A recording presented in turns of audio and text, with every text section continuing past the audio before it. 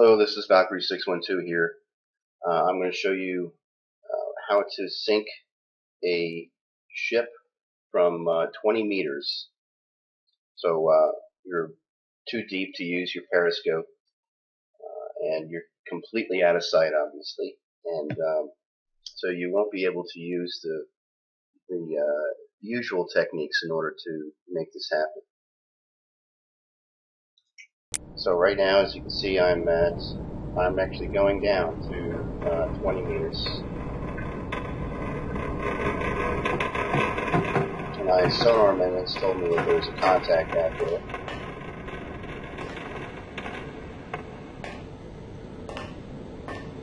So I'm going to listen in.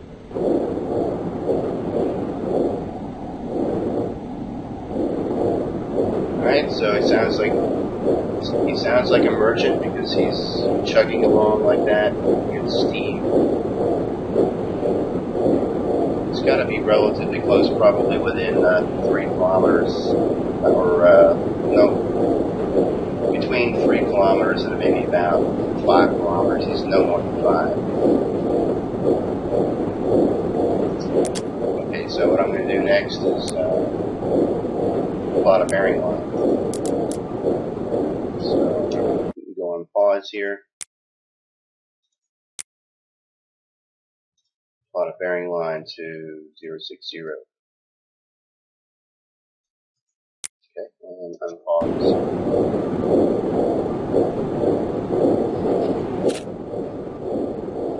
Now, uh, just a little word about this. Um, trying to get an accurate course and speed and uh, distance to uh, target uh, without using active sonar, without using um, a periscope or you know, visual aids of any kind, is very, very difficult. Uh, in fact, in, on uh, modern submarines, they have a, complicated computer system basically that uh, that constantly samples the the sound coming from from the target and basically creates uh, probability plots about where the target is exactly.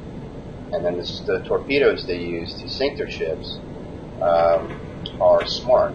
They can they have their own built-in sonar, and they can listen in for the contact uh, and and home in on it. Okay, well, back in the 1930s, 1940s, they didn't have any of that, so we have to do it the hard way. So I've been waiting a little bit here, and I'm going to take another bearing line. First I need to see how he's moved.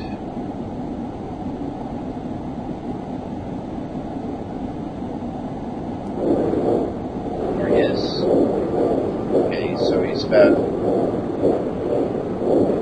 Okay, what I'm doing is I'm going into the center of the sound. So I'm sort of averaging it out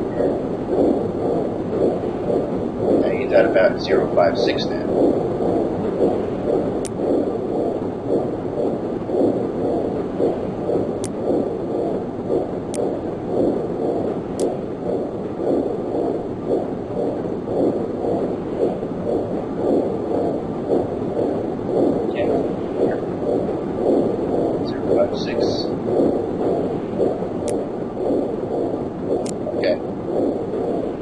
Alright, so where is he? Is he down here on this bearing line? Is he down here? Well, he's somewhere on this bearing line.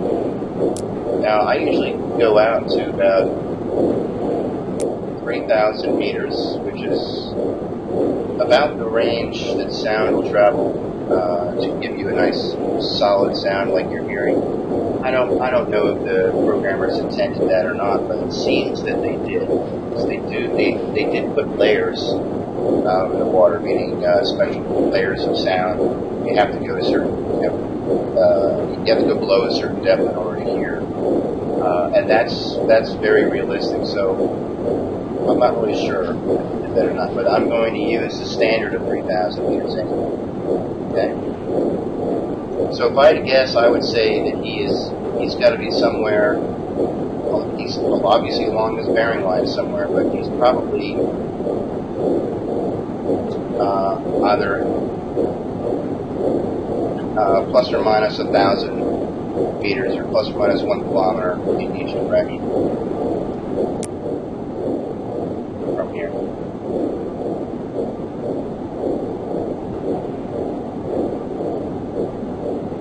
Okay. Now you can you can ignore this line here, but I'm fairly sure that he's coming towards me. He was going away from me, he would have to be uh, the bearing lines could still be the way they are, but it, except that uh, the sound would be getting a little weaker.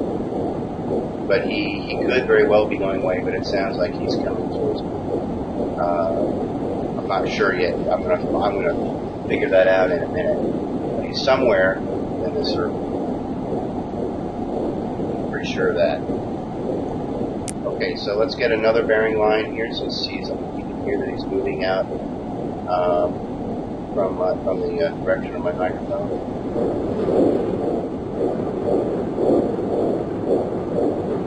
Okay, it's at about 049 now.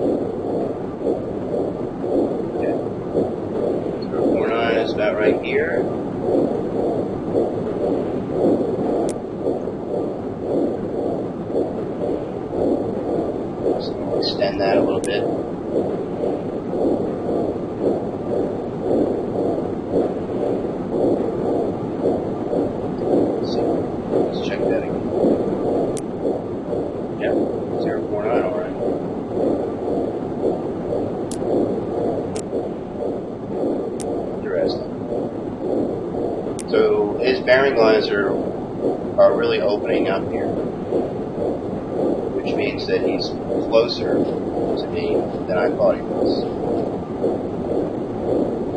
Okay. So he's somewhere along this bearing line, somewhere between here, anywhere down here. Uh, uh, when I'm connecting these three bearing lines here, he's going away from.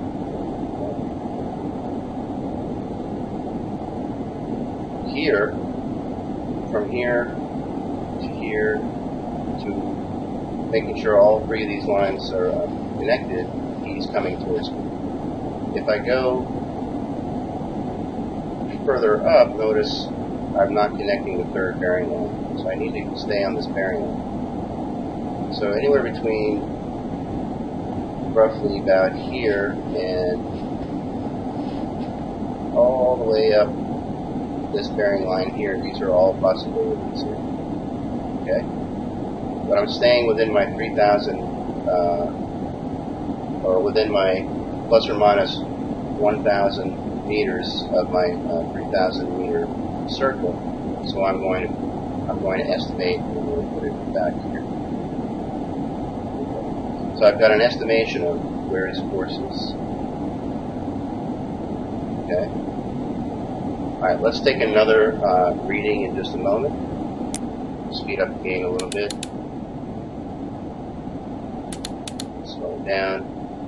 Now take another reading. Wow. Okay. He's at zero three one, so he's really he's really moving. And when his bearings are opening like that, he's he's close he's relatively close.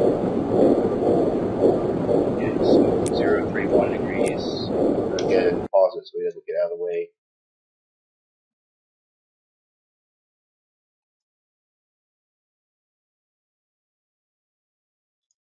Okay, 031 agrees. Ah, so he's really open here. Now he's somewhere over here. Alright, so I had him isolated to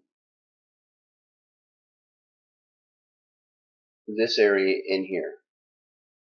Okay, where he could, um, where I could connect all three of those bearing lines here. I had a course going this way. Here's the course line right here. So I'm going to extend that course line through the new bearing line I just drew. Okay? and this is my estimation of where he's at.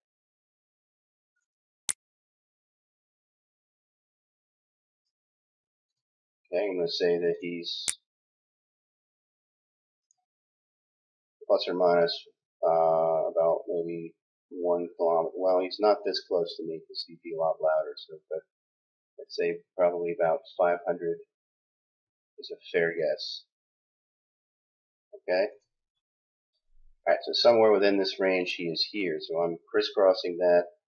Or I'm going to, going to um, average this out here and use this course line, and I'm going to assume that that's his actual course line. Now, the next thing I'm going to do is plot a course. Okay, so the next thing I'm going to do is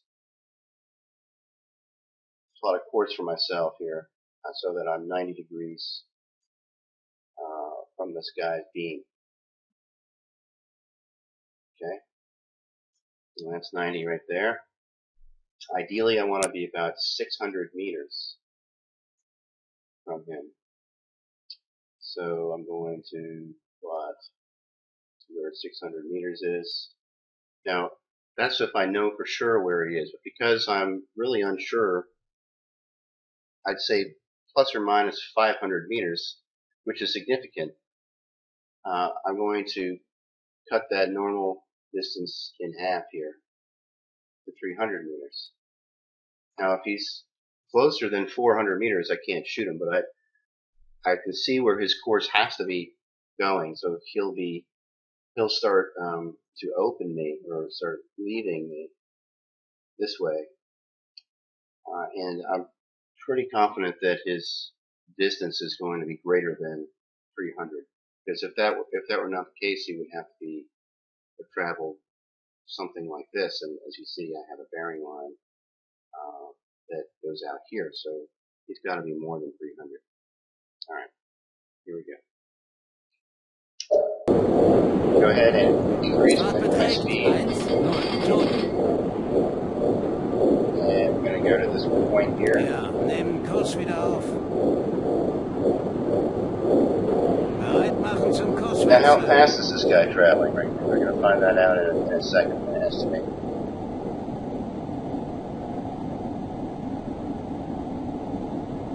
Nimm Kurs wieder auf.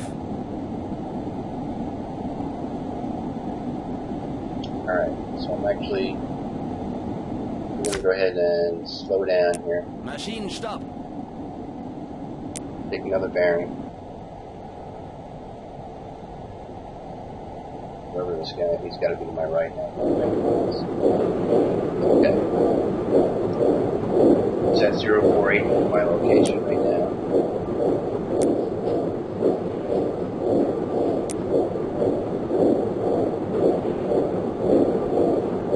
That's 048 right there. Okay, so he's approximately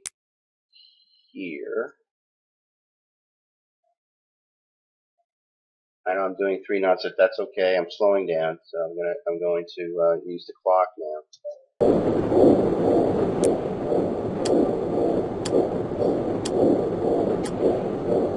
Reverse it. Einfach zurück. Slow down really fast. Langsame Fahrt zurück.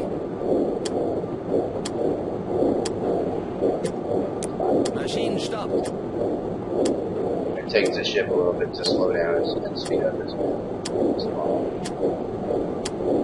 Okay, that's 30 seconds. so I'm not going to go the full five. You'll see what doing in a second here. Going one minute.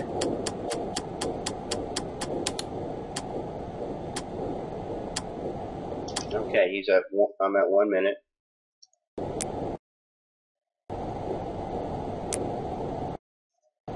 Okay, now I'm going to listen in. Is. The loudest sound here. 039 degrees. Okay, so he's at 039 degrees now.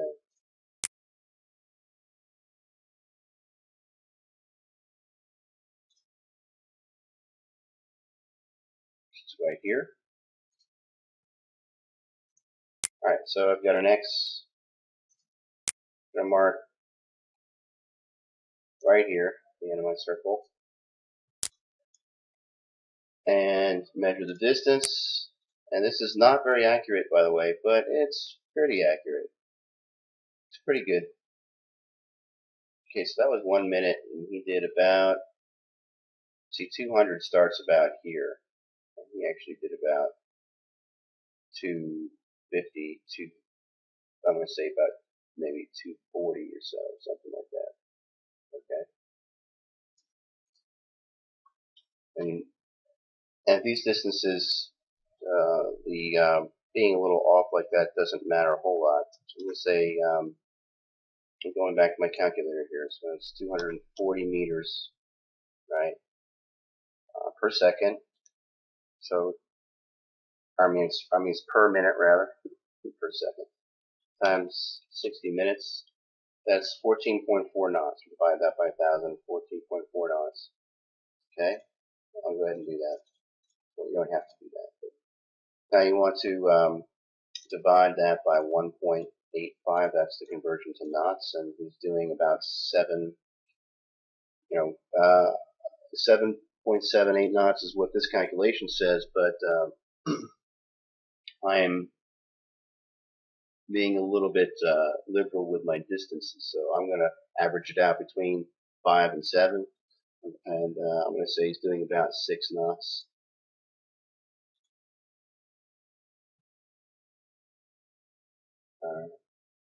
So here he is, somewhere around here actually. He may be a little further out, don't know. Um, I'm going to go ahead and uh, take another uh, bearing line here shortly, but I'm saying that he's doing uh, six knots. I'm going to go ahead and speed back up and get this here. Maschinen stopp. Okay. Okay,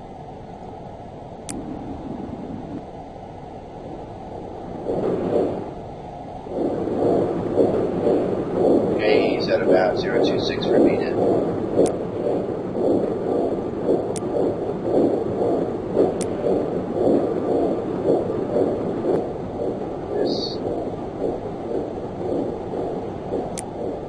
Alright, so he's getting pretty close.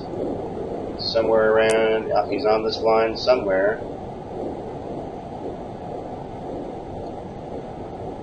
An estimation said he was there. However, he could also be technically,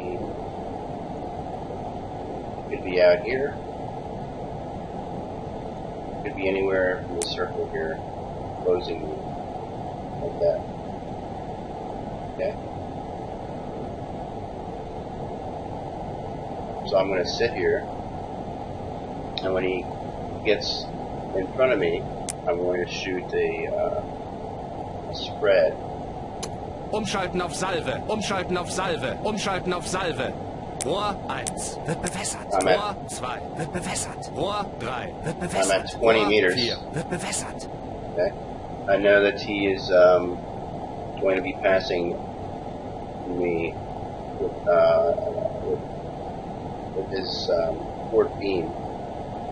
So I'm going to say uh, his angle on the bow that it's going to be 90 degrees. I know he's doing six knots. And what's his range? Now that's that's the key here. He's if I keep this here, I'm saying that he's he's going to be at about 300 meters. Now, if he was that close, it would be very loud, and he's not. So I can safely assume now that this course line is incorrect, and that its course line is actually somewhere in the neighborhood here. So I want to shoot ideally at 600 meters. So I'm going to I'm going to draw a line 600 meters out here. Okay, where I'm at. All right. So ideal. This is this is where I want to shoot. I'm going to say that his course runs parallel to, the old course here. His real course is something like this.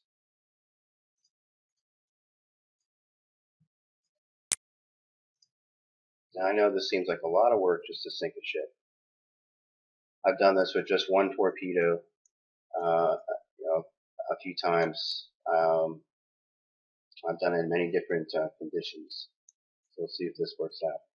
Alright, so now, so the range I'm going to say is about uh, 600.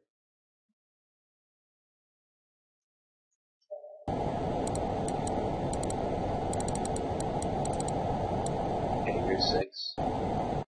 Alright. Uh, my actual heading here, if you look down here, is 344, so I need to adjust this. So that's 350, 40. Alright, so that's about 344 there. Okay? Uh, readjust this angle bow. Now what I'm going to do is just Alright, I should shoot now. I was going to say, I was going to wait until he passes in front of my ship. He's starting to now. Okay, yeah, he's starting to pass. Um, I'm going to go ahead and angle off the bow slightly. It'd be easier if I just wait until he crosses the bow, but I waited a little too long. Alright. So he's out here somewhere. Right in front, he's right in front of me. Um, my my bearing is well, it's accurate enough. It's not precise uh, this dial, but it's uh, it's accurate enough. That should be okay. All right, but I'm going to vary my bearing uh, by just a few degrees for the um, for each one of the torpedoes that I fire. And first thing I'm going to do is, uh, is set the depth down a little bit. I want to, I want to, I want to sink them. Uh, and, uh, if I get it well below the waterline there with, um, with a magnetic pistol, that should be fine. Alright, so here we go. Stand by to fire.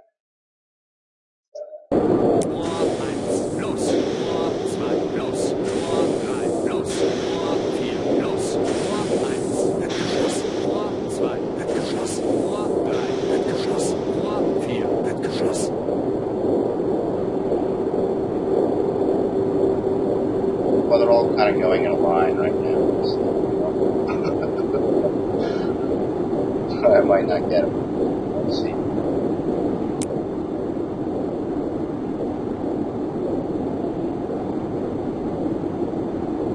Listening for him. There he is. Well, they're at the right angle about. Whereabouts.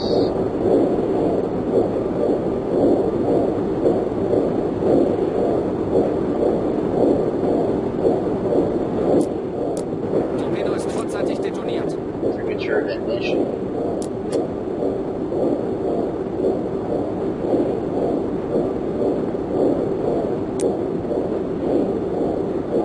See where the hydrophone actually is. Out there.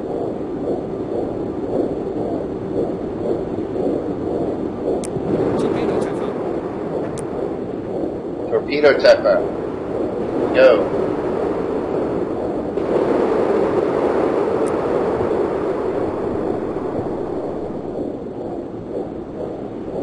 Rohr 1 bereit. So there you go. There you have it. Let's go outside and take a look. Well, can't see a dang, dang thing. That's when this is very useful.